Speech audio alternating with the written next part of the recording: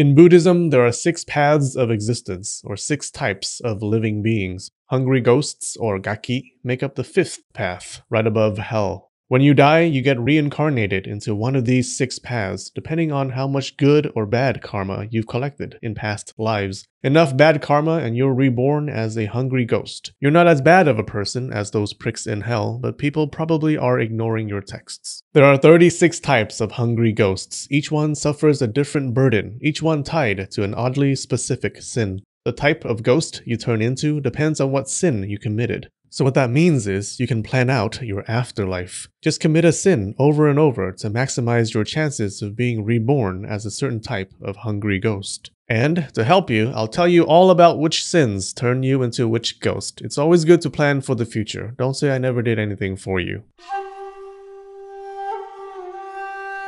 The realm of the hungry ghosts is a realm for the greedy and stingy, so I'm doomed. It sits underground, but above the Buddhist hells. Most of the ghosts are not stuck there, though. They can walk around on Earth among humans, staying invisible, or even hang out in the other realms above. We're not clear on how big these ghosts are. Some people say they're human height, some say they're only a foot tall, some say they're as tall as the Himalayas. Typical male hungry ghosts, always exaggerating their size. The biggest downside to being a hungry ghost is that they're cursed with hunger. They're always starving, and it's always hard to get food because each ghost can only eat one thing. I feel really bad for the ones who can only eat poop. I know, how do you live every day only eating poop without a side dish of pee to go with it? They have a lifespan of 500 years, but one day in their life is as long as one month in a human life.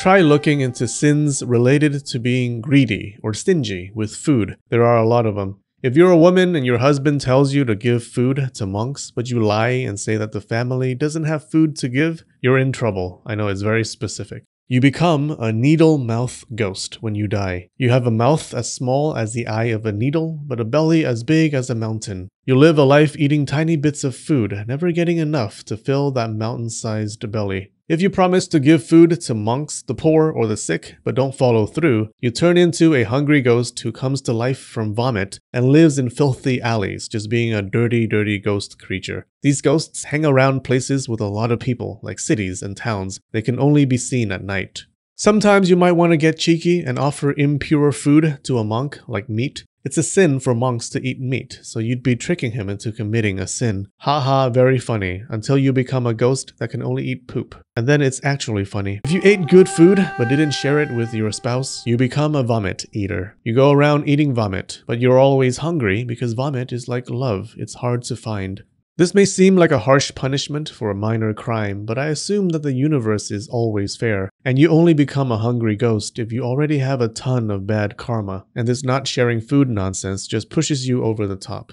If you ate good food but didn't share it with your kids or other family members, you become a fragrance eater. You go to religious ceremonies for the sick and suck in the smell of the food offerings to live. If you're a torturer in hell and you steal food from someone in hell being tortured, you become a ghost that eats the smoke that arises from corpses as they are cremated. If you don't like those sins, there are other sins you can do related to stealing or tricking people into giving you money if you're a woman who seduces men into sex and steals their stuff, you become a shape-shifting ghost. You can change into anything man, woman, even animal. These ghosts shapeshift to enter houses and join ceremonies so they can steal food. They also seduce humans into sex. If you're a merchant and you dilute your wine before selling it, or if you put worms or moths in the wine to fill up the container, you become a ghost that's always thirsty. These creatures have dry and stiff bodies. When they try to drink from a river, demons come and beat them. So instead, they wait for people to swim across a river, then lap up the water that drips from the swimmer's legs. Or they wait for someone to do a ritual offering water to his dead ancestors, then drink the water that falls from the person's hands. Seems to me like they didn't try real hard to find other sources of water. Welp, I can't drink from the river. Time to lick some legs.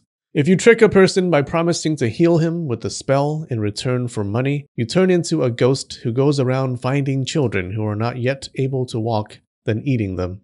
Now, hungry ghosts don't wake up every day and go like, oh man, I can't wait to pop a baby sandwich in my mouth. No, they find these things disgusting. But they're cursed with a need, like they have OCD that makes them want to eat poop or bebes. There are people who visit villages and encourage others to make donations for the sick, but then use the donations for themselves. If you're such a person, you become a ghost who loves disease and hangs around cemeteries because you like being close to corpses. These ghosts scare men who commit evil acts. They can even enter a person's dreams and scare the shit out of them, then have the shit eaten by that ghost who likes to eat shit. If you kill someone to steal their money, you become a ghost called a cauldron body. This ghost has no face. It has arms and legs, but no hands or feet. Their arms end in stumps, making them look like the legs of a cauldron. A fire burns in their belly, torturing them from within.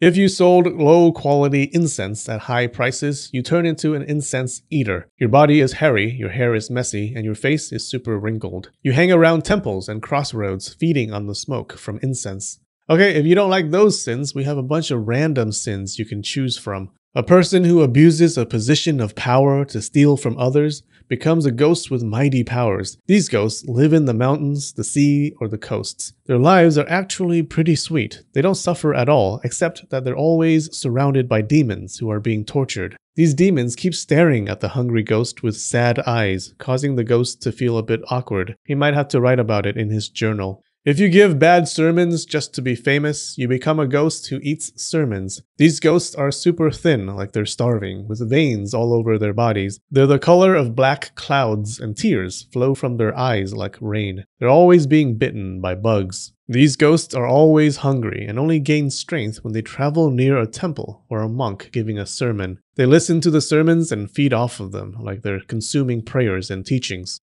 If you kill someone with poison, you become a poison eater. These ghosts live in caves with no water or up on mountains where it's either super hot or super cold. There are always lions or tigers around and birds that like to swoop down and pluck their eyes. Sometimes knives or flames rain from the sky. These ghosts eat poisonous grass, which kills them eventually, but they just get reborn as a poison eater again. Here's a weird one. If you cut down trees that belong to monks or the Buddhist community, you become a ghost that lives inside trees. These creatures are smushed into a little ball inside a tree, constantly in pain. Bugs bite them for fun. Really seems like some monk who's had it with these kids made this one up.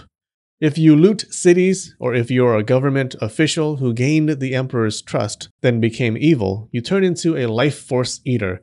These ghosts are super hairy and are always burning. They enter people's bodies to devour their life force. There are other interesting ghosts that you probably don't want to be. There's one who kills the babies of pregnant women in the womb. There's one who gives birth to five kids every day and eats them. There's one who breaks its skull and eats its own brain. And the worst one, a ghost that makes scary, distracting sounds while people try to meditate. Now, if you thought these punishments were wild, then you gotta check out the really crazy stuff that happens in the Buddhist hells. Click here for that. Okay, we have some new patrons on Patreon this week. Jalian, Corgi Tea Time, my favorite time, Daniel Roche, and Isis Ark. Thanks so much, you guys. All right, I love you and spread the knowledge.